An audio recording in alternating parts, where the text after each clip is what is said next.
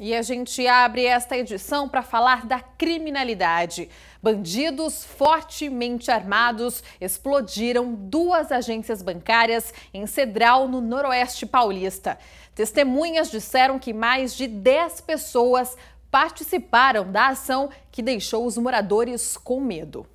Dona Tereza até se emociona quando a dona de casa ficou sabendo o que aconteceu, quis vir até a frente das agências bancárias que funcionam na mesma rua, no centro de Cedral, para ver os estragos causados pelas explosões. Não tem nem palavra para falar, eu não tenho. Eu fico muito revoltada mesmo, muito triste. Porque, né? Para que isso? Foram três explosões seguidas Ivan, que mora bem ao lado das agências, ainda está apavorado. Ele conta que os bandidos praticamente tomaram a cidade e se posicionaram em pontos estratégicos para assaltar os bancos. Com fuzis e outros armamentos pesados, eles davam tiros para intimidar qualquer pessoa que se aproximava do local. Eles apontaram terror aqui na cidade. Todo mundo que mora aqui ao redor daqui ficou com medo.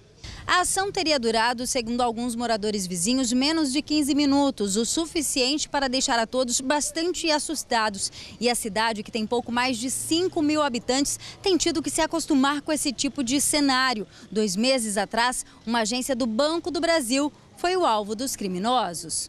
Hoje eu acho, né? Hoje já está normal isso aí. Ah, todo lugar, né?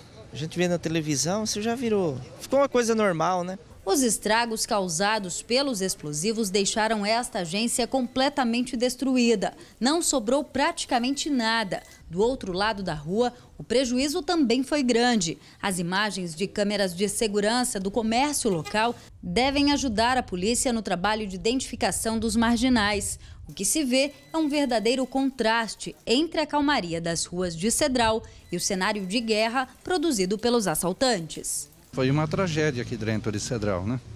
Nós nunca esperávamos por isso. É, a gente fica sentida, né, de ver isso daí. Dói no coração da gente, porque as pessoas trabalham, lutam, né?